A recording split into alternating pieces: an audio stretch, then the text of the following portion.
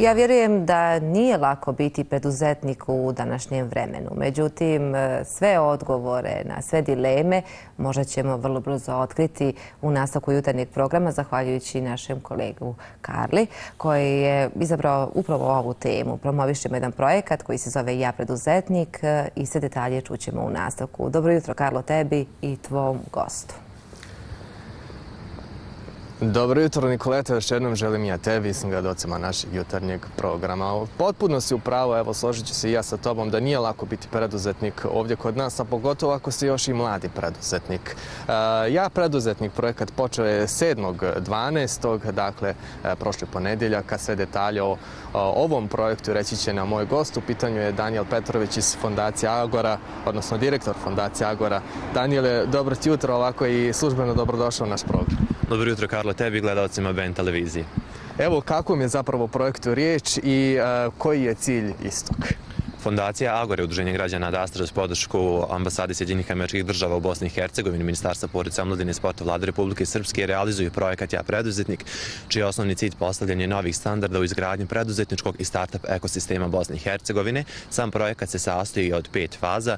Jedna od faza jeste lansiranje web platforme japreduzetnik.com što smo izvršili u prošli ponedeljak i evo danas mogu znači da kažem da već imamo preko 10.000 posjeta na platformi što je zaista jedna ogromna brojka a sama platforma je namjenjena svim mladim liderima koji žele da grade svoju karijeru, bilo kroz zapošljavanje u drugim kompanijama ili ono još značajnije pokretanje vlastitog biznisa. Na platformi ja preduzetnik.com mladi mogu pronaći sve informacije kako edukativnog, tako i motivacijonog karaktera.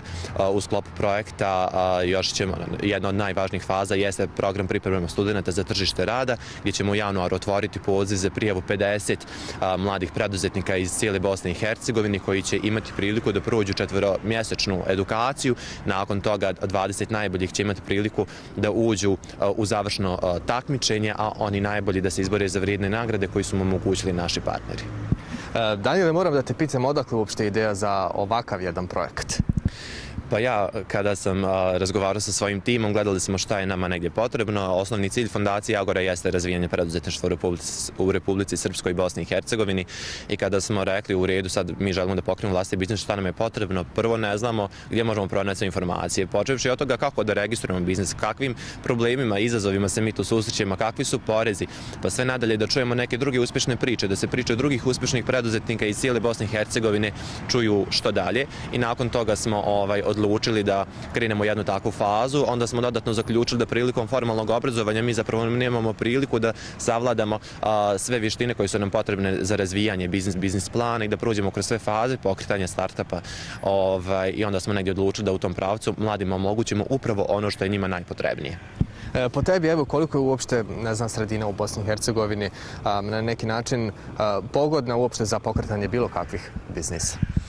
Pa sve to na nama. Možda nije toliko jednostavno kao u nekim drugim zemljama, ali ukoliko mi zaista imamo želju i ukoliko imamo sebi postavljen cilj kako mi težimo, naravno da je sve moguće. Mislim, mladi ne znaju da čak iz Bosne i Hercegovine mogu da otvore firmu u Londonu, da uopšte i ne od, u London, da tamo registruju, da imaju adresu, da otvori svoj bankovni račun, da sutra istraže tržište u Londonu, a isto tako iz Bosne i Hercegovine mogu da obezbedi investiciju od 200-300 hiljada dolara, eura, funti nebitno kojoj valuti je riječ. Ovaj, tako da zaista prilike postoji, samo mladi možda nisu dovoljno informisani, upravo zato i postoji web platforma japreduzetnik.com. Evo, spomenuo se dakle, da ste već do sada imali oko 10.000 dakle, posjeta na samom, samoj platformi. Da li to znači da su mladi prije svega, jel, mladi a, preduzetnici zainteresovani za, za pokretanje uopšte vlastitog biznisa?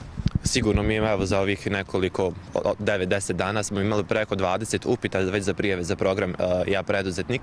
Uh, mladi su zainteresovani, mladi žele da znanje koje su stekli uh, tokom svog formalnog obrazovanja, tokom srednje škole, fakulteta i višeg obrazovanja, da primijene u razvoj svojih biznis ideja i pokretanju vlastitih biznisa. Tako da svakako želja postoji, motiv postoji, samo je potrebno neko da ih to usmeri i negdje možda što njihov najveći problem jeste nedostatak investicije mladi će se teško opredijeliti da uđe u kredit i da pokrenu biznis, a on ne uspije. I dosta mladih ulazi u biznis ad hoc, pokrenu, otvore firma, da prije tog nisu istražili tržište. Zato upravo želimo kroz program Ja preduzetnik da im pružemo sve informacije, da ih edukujemo od počevši od inicijacije, validacije, ideje istraživanja tržišta, formiranja tima i svih ostalih koraka koji su neophodni da kada već pokreću biznis, da to zaista bude jedan cjelovit proces, a koji će svakako u budućnosti biti održiv.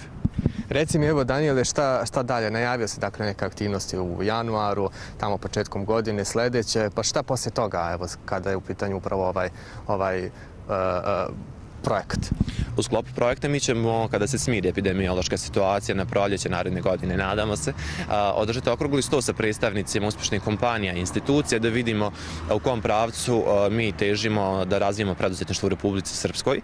Imamo to određene već planove i ciljeve koje želimo da ostvarimo. Jedan od njih jeste i zakon o preduzetništvu, da idemo po uzoru na Crnu Goru koja je dala ogromne olakšice kada je riječ o razvijanju preduzetništva u njihovoj zemlji.